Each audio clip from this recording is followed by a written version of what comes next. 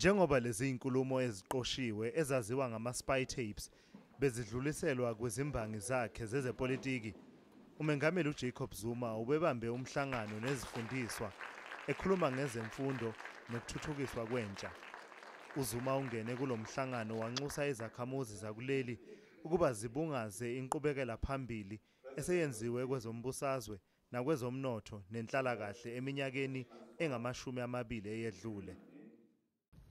There is too much vibrance and discussions. I mean, anything here is taken to, because we have a constitutional democracy, to a debate, if not a debate, to court, to parliament. because we are a free society. We must celebrate our freedom. uZuma ukholwa ukuthi indlela umuntu acabanga ngayo iqala ngohlobo lwemfundo oluqotho Graduates must emerge from universities as complete human beings who have full appreciation of the history of our country, its present, and its future.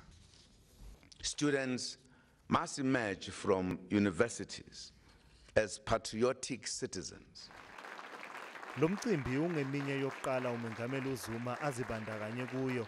Selokhu kwaba nokungqubuzana ne-EFF ephalamende kanye nesinqumo sama-spy tapes sangesonto eledlule.